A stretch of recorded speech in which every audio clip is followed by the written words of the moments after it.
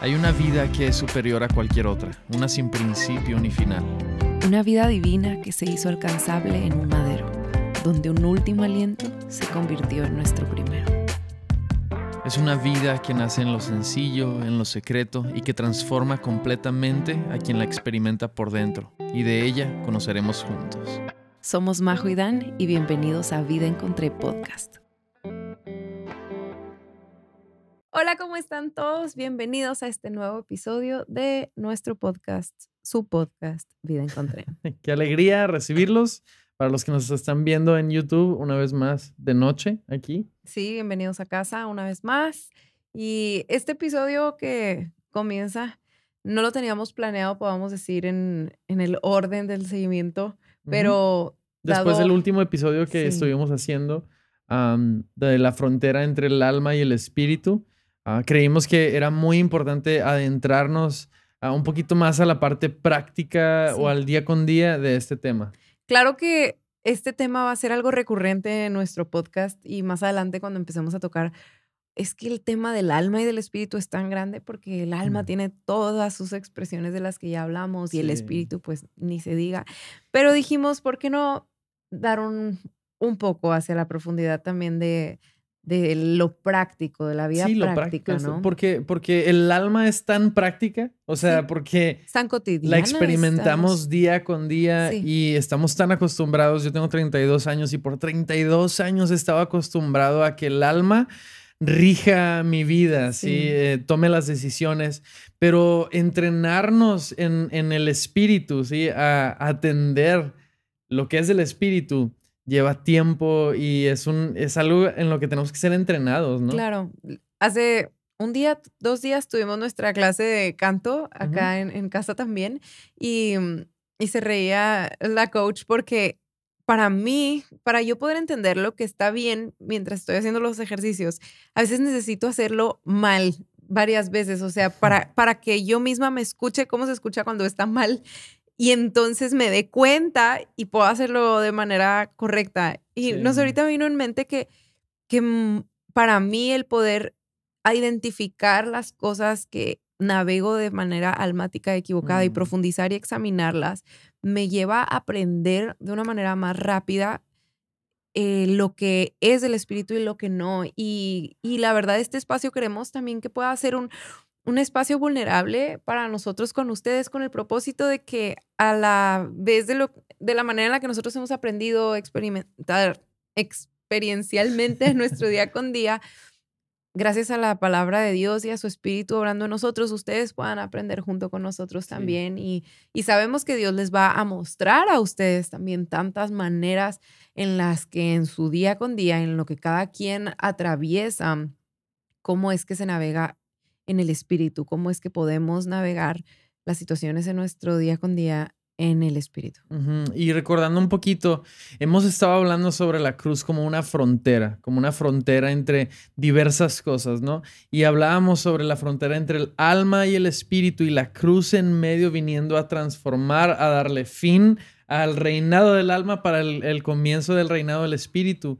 Y la cuestión está entonces en cómo es que la cruz entra a cortar en medio, a cortar en medio de estas dos áreas y nos viene a dar discernimiento, nos viene a dar entendimiento de lo que es del alma y lo que es del espíritu, ¿no? Si no escuchaste el episodio anterior, te animo a que pongas pausa en este, más que en todos, pon pausa y vete al anterior para que realmente ahora puedas entrar con nosotros ya con todos los fundamentos que estuvimos estableciendo en el, en el episodio anterior. Pero hay un versículo que nos da mucha luz en cuanto a esto mismo, en cuanto a la obra de la cruz, de la palabra, porque sabemos que, que la palabra es, es Cristo, ¿sí? sí. Nosotros eh, eh, hemos visto de diversas maneras que como la palabra, como la Biblia habla de que la palabra es Cristo, el Evangelio es la palabra, la obra de la cruz es la palabra, no están separados.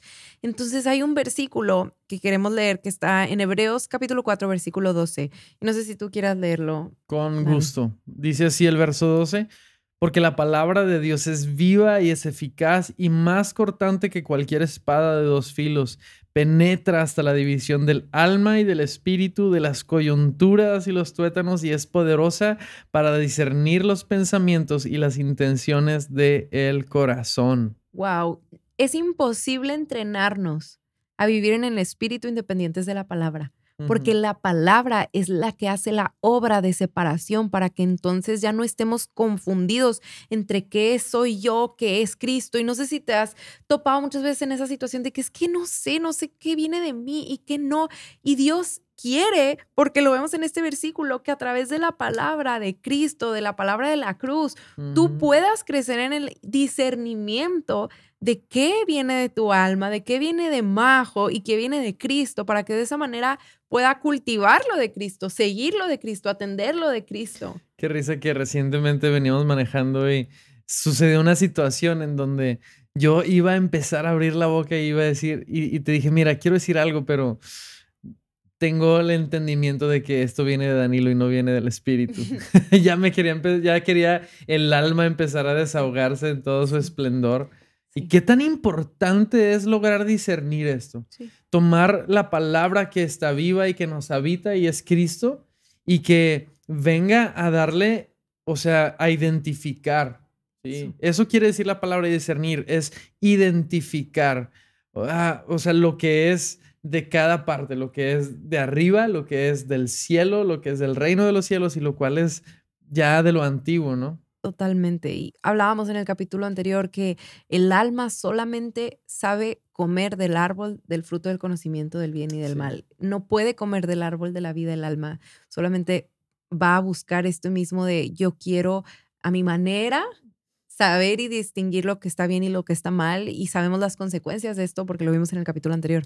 Pero el espíritu es el que sabe alimentarse del árbol de la vida y necesitamos aprender a conocer al Espíritu Santo y cómo opera en nuestro espíritu, qué eh, viene del espíritu, cómo fortalecer nuestra vida espiritual. No sé, para los que van al gimnasio hay muchos memes y cosas así de los que nada más les gusta hacer brazo y luego suben así a las personas que solo hacen brazo de que arriba así y luego las, piernillas, de pollo y se ve bien raro. ¿Qué, ¿Qué, es eso? No sé, ahorita me vino a la mente que necesitamos el fortalecimiento de nuestra vida espiritual que siento que es la que menos atendemos, que está así, como dices, como pierna de pollo bien frágil y nuestro espíritu de hombre, como lo hablábamos en el capítulo anterior, necesita ser el más fuerte de todos, porque es el que dirige al final. ¿Cómo va a someterse nuestra alma y nuestro cuerpo si nuestro espíritu está débil? Y el espíritu se fortalece a través del Espíritu Santo, pero también, como vemos, a través de la palabra, porque aprendemos a entrenarnos en el espíritu, a fortalecerlos y aprender a dirigir nuestra vida de mm. una manera totalmente diferente a como naturalmente estamos acostumbrados y entrenados a hacerlo y que el mundo mismo alaba y es lo único que conoce a aquel que dirige su vida de acuerdo a su alma. Por eso sigue tu corazón y, y, lo que tú piensas, eso es, porque eso es lo natural. Apartados de Cristo, es la única manera de, navegar esta vida, pero gloria a Dios tenemos en Cristo de una manera superior. Y sabes que me lleva a pensar que ahorita mencionaba sobre el fortalecer al espíritu, a lo que es del espíritu, pero también esta palabra es importante que podamos identificar las cosas que están fortaleciendo al alma. No hablamos mucho de eso. No hablamos mucho de las cosas que están afectando al alma, que le están fortaleciendo, que le están dando más cabida sin darnos cuenta y tenemos que orar para pedir discernimiento de parte del Espíritu Santo que nos ayude a ver qué cosas externas. ¿Cuáles son los frutos? Sí, eh, o sea, qué son los frutos que yo estoy tomando día con día que están alimentando al alma, que están dándole fuerza, que le están dando más terreno en mi vida. Claro, porque veíamos que al Adán y Eva tomar del fruto del conocimiento del bien y del mal, el alma fue exaltada y el espíritu fue ahogado. Y entonces cuando el alma se exalta, el espíritu se ahoga y es ahí en donde ya no podemos vivir el reino de Dios, ya no podemos experimentar en sí la abundancia de la vida de Cristo, de la vida Zoe. Y terminábamos compartiendo de que uno puede experimentar el poner su fe en Cristo y todo lo que conlleva esto, inclusive el, nuevo nacimiento, la salvación, el que la semilla de Cristo venga y sea implantada en nosotros, pero podemos seguir siendo carnales al no permitir la palabra traer división entre nuestra alma y nuestro espíritu y seguir navegando el día con día almáticamente. Ese es un cristiano carnal y existe. Y sí, tiene el, el beneficio inmenso de, del perdón de sus pecados y de la salvación, pero no de la experiencia viva del Espíritu Santo y de la experiencia del reino aquí en la tierra y por la eternidad. Y, y, Dios anhela que tú y yo no seamos cristianos carnales, tibios. Él quiere que aprendamos a vivir la abundancia de la vida en el Espíritu, que podamos ser fortalecidos, como dice la palabra, en nuestro hombre interior, para que de esa manera podamos realmente cumplir su propósito de ser transformados a la imagen del varón perfecto, que es Cristo. Pero mm, es por eso que estamos en esto. Es un entrenamiento, es una formación. Totalmente. Y, y pues vamos a adentrarnos hoy en, en un pasaje que nos ha dado mucha luz. Es un pasaje conocido, pero nuestro deseo es que seas inspirado e inspirada a darte cuenta a través de pasajes comunes, se puede decir que vamos a leer, o no tanto en sí comunes, sino conocidos, a que te des cuenta que esta es una palabra que Dios te va a querer estar mostrando en cosas que tal vez ya has leído muchas veces anteriormente y dices, oh, ahora lo puedo ver aquí de esta forma aplicado. Eh, entonces, este, estos versículos se encuentran en Mateo, Marcos 4, capítulo 4. No sé si quieras agregar algo antes de... No, no, no, vamos a darle. Ok, muy bien. Muy bien. Dice Marcos 4, versículo 35. Ese mismo día, caída ya la tarde, Jesús les dijo, pasemos al otro lado. Despidiendo a la multitud, lo llevaron con ellos en la barca como estaba, y habían otras barcas con él. Pero se levantó una violenta tempestad y las olas se lanzaban sobre la barca de tal manera que ya la barca se llenaba de agua. Jesús estaba en la popa durmiendo sobre una almohadilla. Entonces lo despertaron y le dijeron, Maestro, ¿no te importa que perezcamos? Jesús se levantó, reprendió al viento y dijo al mar, Cálmate, sosiégate. Y el viento cesó y sobrevino una gran calma. Entonces les dijo, ¿por qué están atemorizados? ¿Cómo no tienen fe? Muy bien, empecemos con la realidad de que dice aquí que ese mismo día era un día, si leemos versículos anteriores, en los era un día cargado de trabajo. Habían estado con la multitud, habían estado sirviendo a la gente y estaban siguiendo los discípulos a Jesús, reconociéndolo como Dios y siguiendo la agenda del reino. Y dentro de la gente del reino y Jesús siendo Dios, él, él dijo, hay que movernos de este lugar hacia este otro lugar hoy mismo a esta hora. Y eso implicaba subirse a una barca y atravesar un mar. Pero es muy importante resaltar el hecho de que Dios, Jesús, estaba consciente de la cuestión climatológica porque es Dios, ¿cierto? O sea, eh, a veces no es como que, ah, caray, se me fue. se me atravesó esto en la agenda. No cheque el clima. Era una tempestad para Dios agendada para los discípulos. Para una sorpresa. Una verdadera sorpresa. Y mm, la realidad es que en, en la agenda de nuestro crecimiento espiritual, las tempestades son parte. A Dios no le sorprenden, a nosotros sabemos que sí, sobre todo hablando en nuestra alma es algo que, que no preveemos, pero que Jesús mismo fue muy claro al decir, en el mundo van a haber aflicciones y, y son cosas que llegan como esta tormenta de repente y tenemos que entender que aún en medio de ellas, estas no salen de la conciencia soberana de Dios. Pero cuando Dios está es quien nos llama a atravesar y a tener que, en el camino en el que estamos siguiéndolo a Él, como los discípulos que lo estaban siguiendo, el desenlace de esas tormentas es muy diferente. Sí, totalmente, porque muchas veces creemos que el cristianismo o, llegar a Cristo significa tener una vida ya resuelta de problemas, en donde no vamos a enfrentarnos problemas y eso es una enseñanza completamente distanciada de la realidad. Por lo mismo que acabas de decir, que Jesús mismo enseña, pero porque también Dios utiliza estas circunstancias a nuestro favor. Esa es la esperanza que tenemos ahora. Y esa es la esperanza que ahora, eh, digo, podemos ver ilustrado en esta imagen de que Jesús está en la barca, pero también de que Dios tenía algo para tratar con los discípulos. Y ahora vámonos a lo práctico. ¿Qué pueden ser las tempestades para ti? Para mí una tempestad cotidiana, pero una tempestad es cuando algo sale de mi expectativa, cuando algo sale de mi control. Una tempestad es algo que no lo tenía planeado majo. En mi, yo soy muy de planear y hacer, esto va a suceder así y esta es mi expectativa y las cosas van a salir así. Y bueno, desde que llegó mi hijo, más tempestades para mi alma se han venido porque no puedo controlar, al final es control. Sí, o sea, una tempestad para mí es cuando mi control se ve afectado por cosas que salen de mi control y que me, me vienen y me afectan mucho. No sé para ti como, si tuvieras algo en mente que que pudieras poner de manera práctica sí, yo, una tempestad? Yo veo que naturalmente tiendo a ser, no sé si te has dado cuenta, pero me imagino que sí, obviamente. Llevamos cinco años casados, creo que ya te has dado cuenta que tiendo a ser igual, igual pero distinto, porque soy más en el sentido de perfeccionista. A ti te gusta como tener control de las cosas, de la situación, pero yo siento que yo quiero que esté todo perfecto, que esté estable, que no esté movido, que sea simplemente el agua calmada, porque tiene que haber mucho trabajo y ajetreo en el día y a mí eso me empieza a lebrestar y me empieza a crear una ansiedad donde siento que me estoy ahogando. Sí. Siento que me estoy ahogando y ¿cómo puede ser que hay tantas tareas por hacer y, y, están agitando mi calma? Sí.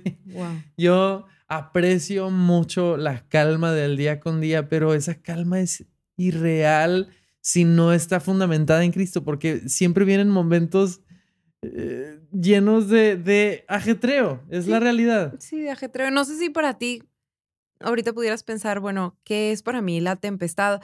Obviamente hay tempestades más grandes de las cosas cotidianas de las que estamos hablando, que son eh, cuestiones duras en la vida, de pérdidas, de enfermedad, de, mm, de realmente Temores profundos. Temores profundos, situaciones que vivimos dolorosas, de las cuales no tuvimos control, de las cuales no, no, no tuvimos en sí em, nada de expectativa de que iban a suceder y, y, suceden y tú estás siguiendo a Jesús, estás subido en esa barca y de repente se nubló el cielo, pero se nubla más de lo que te imaginabas y empiezas a ver las olas a tu alrededor.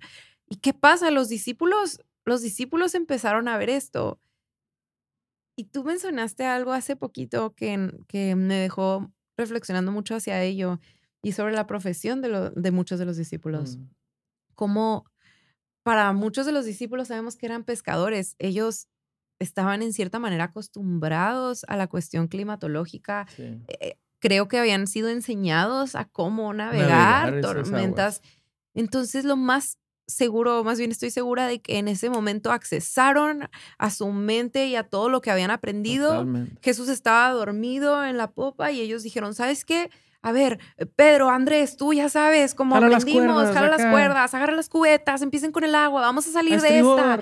Sí, sí, gracias. Todo, imagínate esta historia, ¿verdad? Todos, venga, así se puede, ya hemos logrado estas tormentas. Y entonces me los imagino al principio que no empezaron así como que, ay, no, porque no era como que no les había tocado, me explico. O sea, son pescadores, saben nadar, saben navegar estas tormentas. Entonces ellos accesaron a su conocimiento natural, a su, a su intelecto que es parte del alma para decir, ¿cómo navegamos esto? Sí. Claro, me imagino a un Leví, sí, así de que con, estoy haciendo? contador de impuestos, de que, ¿por qué me subieron aquí? Yo sería él así corriendo. ¿qué Contando las probabilidades de supervivencia. Sí, probablemente. sí, que bueno, si somos tantos, probablemente sobrevivan. tantos, todos atendiendo a su alma. ¿Qué es lo que sucede con nosotros cuando vienen las tempestades en la vida, las situaciones fuera de nuestro control, cuando nos topamos con, con este tipo de cosas, nuestra manera, modus operandi, ¿se dice? Operandi. Operandi. Operandi. Operandi. Ajá. Es accesar a nuestro intelecto. Luego ellos también empezaron con su fuerza física, cuestión de su cuerpo, de, ok, vamos a, a meterle todo, vamos a sacar cubetazos, el agua y probablemente ya después de que estaba todo esto, al principio podían tener como que cierta parte de su alma diciendo, sí se puede, sí se puede, pero luego empezó el no se puede, no se puede. Es, es, es una... O sea, ahorita me, me pegó esta historia que realmente el, el, último recurso que hubo en su mente fue ya el recurso de Cristo. cuando parte del procesamiento que Dios quiere tener en nuestras vidas es que acudamos automáticamente al recurso principal, que es el recurso del, espíritu. Wow. Así e, es. El, recurso del espíritu. O sea, yo, me doy cuenta que, que sigo, sigue habiendo días en los que el alma quiere entrar, así como los, los, discípulos, y órale, de esta ya me la sé, lo podemos hacer. Y, y hay ocasiones en las que el alma se siente bien porque lo logra. ¿Sabes cómo? Lo logra. Claro que el, alma y el cuerpo terminan cansados, agotados, desgastados. muchas veces, pero aquí Jesús los lleva a un punto en donde quizá comenzó como la, tormenta conocida, ¿sí? Pero fue creciendo y fue creciendo hasta el punto en donde los sobrellevó. Sí. Estaba fuera de la capacidad de ellos. Y creo que esta historia a lo que nos lleva es que Dios toma estas circunstancias y nos lleva hasta el punto cero de nuestra vida, para que, en nuestra alma, para que entonces volteemos y digamos, de, de esta no tengo de otra, a menos que sea una intervención sobrenatural. Wow. Y por eso es que empezamos diciendo de que esto no salía de la agenda de Dios. Esto era parte de la formación de Jesús para sus discípulos. Era era parte del procesamiento para que ellos entendieran cómo iban a navegar más allá de mares físicos, el mar de la vida del mm. espíritu. ¿Cuántas cosas más les iba a tocar atravesar de tempestades mucho más grandes, tempestades de persecución, tempestades de, de hambre, tempestades de todo lo que vino en el reino para ellos, pero este era el de los primeros pasos, porque Dios nos va entrenando así, poco a poco. No nos avienta al ruedo en la primera, en la tempestad más grande, pero esto era parte de la agenda porque Jesús estaba trabajando con sus discípulos, más allá de lo que podían hacer con la multitud, de servirlos, de servir a la gente. Él estaba tratando con el corazón de ellos, porque si seguimos sirviendo a la gente en nuestra alma y navegando la vida de acuerdo a nuestra alma, no vamos a poder cumplir realmente la carrera de la fe, nos vamos a cansar, nos vamos a hartar, nos vamos a decepcionar, nos va a faltar, porque nunca se trató de que siguiéramos a Jesús almáticamente. Se trata de que llevemos el alma a la cruz y que podamos entonces así tomar del recurso del espíritu. Es un llamado espiritual, más allá de pescadores, los llamó a ser pescadores de hombres y estaba formándolos como pescadores de hombres, pero primero tenía que toparse ellos mismos con su incapacidad como pescadores naturales que tenían. Sí, sabes, y esta es una palabra para ser ministrados cada día. Sí. Ser ministrados y realmente es un entrenamiento. Un entrenamiento no es aquello en lo que le dedicas, o sea, si yo el día de mañana, si en, no sé, un mes quiero correr un maratón, definitivamente yo no lo puedo hacer en la condición en la que estoy. Tú sabes perfectamente que no puedo, mi amor. Digo. Y tampoco podría diciendo, ok, mañana voy a leer lo que se necesita para el maratón y voy a entrenar todo un día y estar listo. O sea, hay un proceso de entrenamiento y entonces tenemos que entender que también hay un proceso en el cual somos, estamos siendo fortalecidos, renovados, dice Pablo, eh, que el hombre interior se va renovando mientras el exterior se va desgastando. Y es ese parte, el, el proceso del entrenamiento. Así es. Y entonces, volviendo a la historia, ellos llegan a este punto cero y ¿qué hacen? Por fin se voltean a ver voltean a ver a Jesús dormido sobre una almohadilla. Me encanta que menciona la almohadilla. O sea, no es como que Jesús se quedó dormido de repente. Él se preparó para dormir. Y, para el alma es una locura, ¿no? Es una locura, es el contraste. Jesús en ese momento estaba haciendo el ejemplo de lo que nos llama a nosotros ser en el espíritu. Es, ese es el espíritu en medio de la tempestad y el alma en medio de la tempestad son los discípulos cansados, ya como locos y corren hacia Jesús por fin, sueltan sus cubetas, sueltan las cuerdas, sueltan todo, se dan cuenta de que no la vamos a armar. Van a Jesús y le dicen, dice el versículo 38, em, maestro, no te importa que perezcamos. No sé si pueden ver ahí todo el drama del alma, por favor, díganme que sí. O sea, no te importa que nos muramos. Estamos sufriendo todos aquí. ¿No ves? ¿Qué te pasa dormido? Yo ahí veo el estrés de ellos. La verdad, ya están en ese punto de estrés y y es un tema, el estrés es un tema con el que Dios ha estado tratando mucho conmigo y, y voy a, a compartirles brevemente, pero al que puedo decirte que me acostumbré y tú sabes que era como ya una costumbre para mí el experimentar estrés como es parte de la vida y el mundo se estresa y ya está en tus conversaciones es normal, ay, ando bien estresado y es que qué estrés y qué estrés con esto, o sea, normalizamos se el estrés. ha vuelto normal el estrés. Lo vemos alrededor como si fuera parte, pero no es parte de la vida abundante de Dios. No, el estrés no entra en la vida Zoe.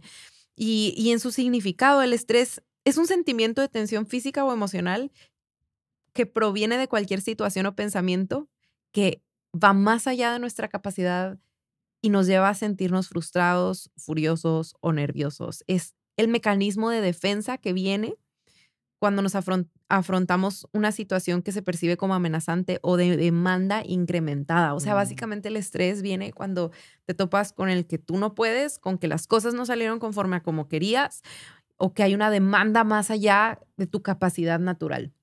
Es cuando llega, pero, pero realmente en mi vida era como, como tiendo a ser muy de tener muchos planes y expectativas y querer hacer muchas cosas, era demasiado constante el que me topaba con el que no podía, porque aparte todas esas cosas las quería hacer dependiente de mi alma y de mi cuerpo que se desgasta. Entonces ya cualquier cosa que salía del plan, como que mi hijo no se durmió a la hora que quería, estrés. Como que no logré hacer el ejercicio que quería, estrés. Tú sabes, ya, bomba de estrés. Y el estrés me llevaba el estrés es algo contagioso. El estrés me llevaba a ver si Danilo estaba descansando tranquilo en una situación en la que yo no. yo era como los discípulos que iba mm, con Jesús así de, ¿qué, te pasa? ¿No te das cuenta de lo que está sucediendo? Porque quiero contagiárselo, quiero que su alma reaccione como la mía. Y, y el estrés es un ambiente que cambia la casa. No, porque es una tormenta interna, más allá de la tormenta externa, es una tormenta interna en la que puedes ahogar a otras personas y mantener a las personas viviendo así, pero el estrés a la vez es un, es un bloqueo inmediato al fruto del espíritu. Es imposible estar estresado y sentir paz, es imposible estar estresado y sentir gozo, tener dominio propio, no tienes, empiezas a hablar como se te da la gana, empiezas a tratar a la gente como quieras, empiezas a buscar culpables, o sea, es totalmente almático. Y tenemos que identificarlo así para que nos dejemos de acostumbrar a él. El estrés viene de la carne, es pecaminoso, es de la vida antigua y la cruz termina con eso. Entonces, es algo con lo que Dios ha tratado conmigo. El estrés fue crucificado con Majo juntamente con Cristo. Esa ya no es la vida a la que Dios me llama. Y si Dios me ha llamado a hacer cosas que claro que tienen tormentas y atravesar la tormenta, Él me va a sostener con paz en medio de esa tormenta porque Él me llamó. Punto. Él es el que me ha llamado a todo esto y acceso a la vida del Espíritu. Pero mm, sí, en, esa, en ese momento en el que le hablan a Jesús, yo, yo me sentí identificada diciendo, Jesús, que no te das cuenta de todo esto, ¿qué te pasa? que ¿Cómo es imposible vivir esta vida en paz? Pero Jesús nos dice, es posible vivir una vida constante de paz aún en medio de las tormentas. Sí, y qué bonito que ¿Te acuerdas de estas palabras en la, en la palabra que dice, hermosos son los pies de aquellos que anuncian la mm. paz?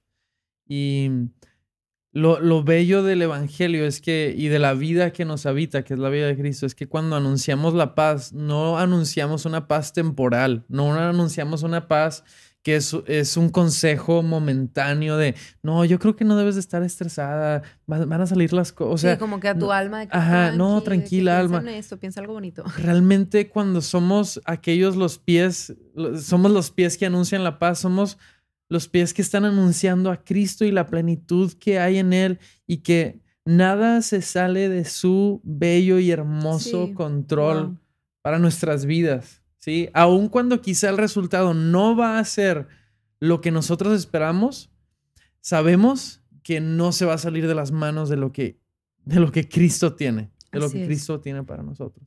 Así es. Entonces, continuando con la historia, dice que Jesús es el ejemplo de quien lleva eso, Él es los pies de la paz en medio de nuestros pies estresados que están como locos. Pero dice que Jesús se levantó. Y me encanta que no vemos que Jesús se levantó y vio la tormenta y dijo, ay no, estresémonos todos, denme una cubeta, denme, díganme qué hacer. Sino que Jesús se levantó con la misma paz con la que estaba dormido. ¿Y qué hizo? Reprendió al viento y dijo al mar, cálmate, sosiégate. Y el viento cesó y sobrevino una gran calma. ¿Qué hace Jesús en medio de las tormentas internas y externas? Él las reprende a través de su voz, Él habla. La forma en la que Dios trae calma en medio del caos es con su palabra. Sí. Así ha sido desde el principio. En el principio estaba la tierra desordenada y vacía, como nuestras almas están desordenadas y vacías sin Él. Y Dios habló y empezó a haber vida y empezó a haber separación, luz, claridad. Dios a través de la palabra es que empieza a traer separación entre el alma y el espíritu para discernir, para aprender. Los discípulos estaban experimentando una clase práctica de lo que la palabra de Cristo y del Espíritu hace en medio del caos. Trae calma. Lo externo, la, paz externa del, de la tormenta era solamente una sombra de la paz interna que viene cuando, cuando la palabra del Espíritu habla a nuestro espíritu. Y el espíritu entonces viene y vuelve a tomar el lugar y el alma es calmada. Es una gran calma y previo a que se hubiera que esto fuera hecho y este milagro sucediera, hubo un factor clave y es que los discípulos llegaron a su punto cero, que no tenemos que llegar hasta ese punto cero, pero que los discípulos dejaron de esforzarse y fueron a Jesús, se detuvieron, frenaron, porque es cuando frenamos que entonces podemos escuchar en el Espíritu la voz de Dios y experimentar lo que solamente Él puede hacer. Wow. Me quedé pensando en eso del punto cero, que mm, no tenemos que llegar, pero por la necedad a veces de nuestra alma, Dios eh, permite que lleguemos hasta ese punto, porque nuestra alma nos lleva también hasta, hasta ese punto. Y mm, qué hermoso que en ese punto hay esperanza. En ese punto aún ahí hay esperanza para voltear a Cristo, que no hay condenación, aún si en, en las diversas circunstancias que ah, quizá tú has estado atravesando en esta temporada en tu vida, que logras identificar que el alma ha estado entrando con todo, no hay condenación para ti, sino puedes voltear a aquel que está en la barca contigo. Y Jesús sí le habla al mar y en esta ilustración, o sea, en esta historia también es una ilustración de que le habla al corazón de los discípulos. Cálmate. Cálmate, sosiégate. Y, y es lo mismo que el Espíritu Santo hoy le está hablando al alma, cálmate y sosiégate, no tienes lugar ni parte aquí, te sometes mm. a la autoridad y a la voluntad del Espíritu en este momento. Y eso es lo mismo que tenemos que recordar cada día, o sea, permitir que el Espíritu le hable al alma, así como dice el salmista, bendice alma mía al Señor, mm. bendice alma mía al Señor, es el Espíritu hablándole al alma, eh, David en esta revelación, ah, hablándole al alma de que no tienes lugar ni parte aquí, vas a bendecir al Señor. Así también nosotros tenemos que recordar estas palabras, cálmate y sosiégate, como si mm. Jesús nos lo estuviera diciendo a nosotros y, y que podamos escuchar lo que el Espíritu Santo está queriendo dirigir y hablar en este instante, en este momento. Y es muy probable que sus, su manera de actuar en la circunstancia que estamos atravesando va a ser muy contraria y muy distinta a la manera en la que nosotros operamos. Totalmente. Tú generalmente cuando estás en estrés, ¿cómo es que operas? O sea, uh. tú... Tú sabes. Sí, bueno, yo, yo voy a hablar de mí. Yo me pongo así triste, me pongo así enojón, reactivo con, con la gente, no quiero hablar. Con condenación o vergüenza también. También con condenación. Y cuando el Espíritu Santo llega y entra, yo quizá nunca te lo, no, no, te lo he dicho textualmente, pero hay momentos en los que te quiero como contagiar con eso.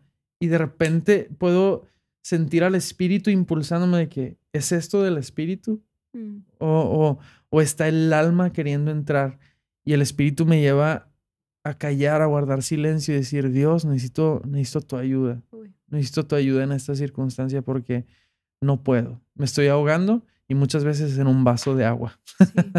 En otro momento el, salmista David también lo entendía al decir y orar, examíname, oh Dios, y conoce mi corazón. No está hablando mi espíritu, dice, conoce mi corazón, que es mi alma, pruébame, conoce mi pensar, otra vez alma, ve si hay en mí camino de perversidad. Estoy cantando la canción casi casi. Y guíame. Y guíame por el, camino, de la vida eterna. Guíame por el camino del espíritu. David no nos tumben este video por lo que acabo de no, no, no, nos van a dejar. Pero David entendía este misterio y decía, Dios, examina este corazón porque solo me va a llevar a un camino de perversidad. El corazón es engañoso y no está llamado a dirigir. Pero, por ejemplo, en mi vida, claro, llego al punto cero, he llegado a esos puntos ceros en los que digo, ya no puedo más, Dios, ya no puedo más. Y el Espíritu viene y trae calma y, y, su calma nunca viene con condenación. Sí eh, provoca en mi arrepentimiento, pero no de condenación, es, es, es lleno de gracia y de consuelo. Pero también he aprendido a empezar a distinguir la voz desde, de Dios desde antes, cuando estoy en mi, en mi momento así como con todavía bríos o ánimo con los discípulos tal vez al principio de que, a ver, tú para allá y tú para acá y no sé qué. Y cuando yo ando así como que todavía con mucha, con mucho fe en mi alma y ando queriendo tomar decisiones y esto acá y esto allá y esto hacemos así y así, el espíritu. ¿Quién está dirigiendo tus decisiones? ¿Quién mm. está dirigiendo tu día? ¿Es tu alma, tu pensamiento, tu razonamiento al que le tengo en gran estima o es la voz de mi espíritu? Y ¡pum! Y como ya he estado en otros momentos que llega a un punto cero por dejar mi alma tomar muchas decisiones, ahorita ya digo, ya sé a dónde va todo esto. Mejor desde antes me detengo. Es un entrenamiento. Es un entrenamiento. Al principio empieza así, pero tenemos que aprender a decir, ala, yo me acuerdo de esa vez que llegué a la tormenta y llegué hasta ese punto, no necesito llegar hasta ese punto, aquí está Cristo, voy a detenerme, voy a tener este tren sin freno que traigo, voy a entrar en oración un momento, mm. como hablábamos hace unos capítulos en el de las preguntas, exhalar todo lo que viene de mí, todo mi, mi deseo de yo decidir eh, qué es lo que es bueno y malo, o toda mi vergüenza, mi condenación, mi estrés, eh, toda mi independencia de Dios, la exhalo en oración e inhalo todo lo que viene del Espíritu para así poder navegar la vida en el Espíritu, dando fruto del Espíritu, paz, gozo, paciencia, bondad, fidelidad, no importa la tempestad o las cosas que nos salgan externamente como querramos, es posible mantenernos en paz. Es posible dormir en la tormenta. Esa es la vida del Espíritu. Estamos unidos a Cristo porque ¿quién está en nuestra barca? Es Dios el que ya venció. Y cuando estamos conscientes de eso, uy, eso es superior. La palabra de consumado está, es nuestro descanso, es nuestra almohadilla. El decir, en Cristo todo está hecho, puedo descansar.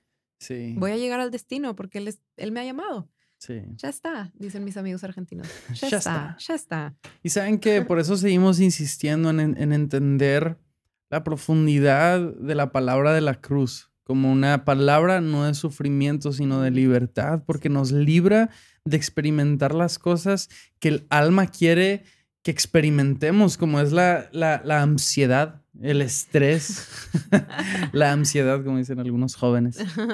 Ya no soy tan joven. Ya no me Perdón. Está bien.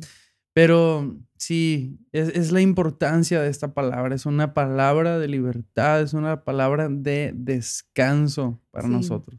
Quiero que empecemos, oro para que podamos empezar a identificar desde antes, cuando nuestra alma quiere dirigir, como en el tipo de pensamientos como tal vez para aquellos que son más dados al, al control y al estrés.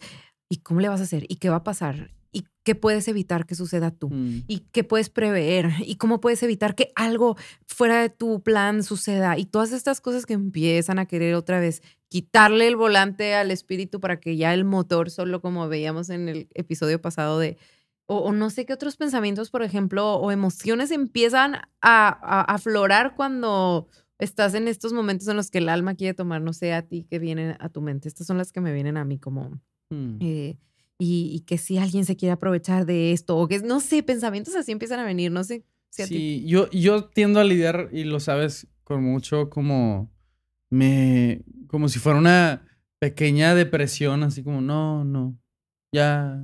No, es bueno para eso, no, lo vas a ya, Y nada me, me, saca de ese ritmo. Sí, Qué diferentes somos, porque a mí me lleva a querer estar más como adelante, como en control de que yo voy a tener, y a ti te echa más para atrás, de que no, no, tú no puedes hacer nada, ¿no? Mi agüita y me...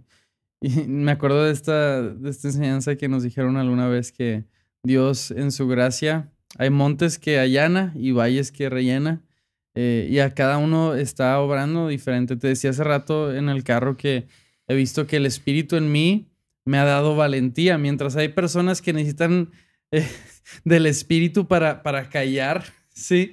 Yo, yo me he dado cuenta que el espíritu en mí me lleva a hablar cuando, cuando hay una, una situación o circunstancia en la que estoy seguro que, que no deben de ser así las cosas, una situación de injusticia o simplemente que no estoy de acuerdo yo tiendo en, mi, en el alma a ser retraído porque el alma dice, no, no, no, ¿por qué vas a, a, incomodar, así, eh, vas a, romper el ambiente y, yo tiendo a ser echado para atrás. Mm. Pero el espíritu en mí me hace una persona valiente, una persona que, que dice, esto no está bien y pone el alto.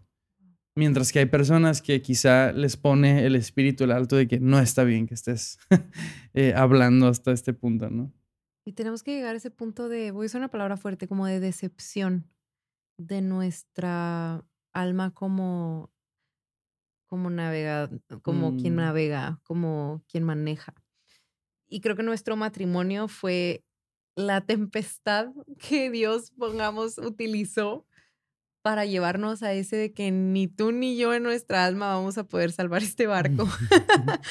eh, porque si se dan cuenta, y aquí estamos siendo súper abiertos, somos contrarios. Entonces imagínense, cuando estamos en el alma, yo estoy queriendo estar para adelante, Danilo para atrás, y obviamente no funcionan las cosas, no nos ayudamos absolutamente en nada. Tiene que ser, tuvo que ser la palabra de la cruz que vino a dejar nuestra alma ya fuera del volante para que sea el espíritu y llevarnos a un crecimiento y a una unidad que creo que nunca nos habíamos imaginado que íbamos a poder experimentar, pero eran procesos diferentes y cada uno de ustedes tiene un proceso, pero es un proceso espiritual mm. en el que Dios, el Espíritu de Dios quiere llevarte, quiere guiarte, acompañarte, pero hay un punto aquí, la tormenta o te ahoga o te vivifica, o te estresa solamente o te enseña. Los discípulos salieron de esa tormenta dado a la palabra de Dios, llenos de fe, aprendieron, se dieron cuenta. Hablábamos en los primeros episodios de que del costado de Jesús salió sangre y agua y cómo la sangre representa el perdón de pecados, pero el agua representa purificación. Y estas cuestiones, esta agua, estos, estos tormentas o estos ríos a los que tenemos que atravesar, en Cristo tienen el potencial de purificarnos, de transformarnos, de renovarnos para poder llegar al destino del reino que Él tiene para nosotros por mm. delante. Pero necesita morir en esa tormenta del alma, en esa tormenta que ellos vivieron. Quedó decepcionada su capacidad de pescadores naturales para ir a ser pescadores espirituales. Y eso es lo que tiene que suceder con nosotros para ser realmente útiles en el reino. Sí. ¿Cierto? Wow. Buenísimo. Pues teníamos otra, pero. llegaste nomás a la mitad, ¿verdad? Creo que llegamos. Llegamos nada más a la mitad. A la mitad. pero, es un tema tan profundo y creo que vamos a seguirlo tocando en los siguientes episodios. O sea, no se termina ese tema, no, no nos lo acabamos, no hay, no hay manera. El tema de la cruz y Cristo crucificado es para meditar y masticar por el resto de nuestra vida aquí en la tierra hasta que, hasta que lo veamos y entender que estamos en este entrenamiento, estamos siendo entrenados y capacitados para la obra, sí. Pero sobre todo estamos siendo entrenados para experimentar la vida de Cristo y compartirla con, con, con otros, ¿no? Yo quiero dar una palabra final para personas que se sienten cansados, muy cansados y desgastados. Veíamos como los discípulos, esta tormenta los agarró en un día en el que habían trabajado mucho.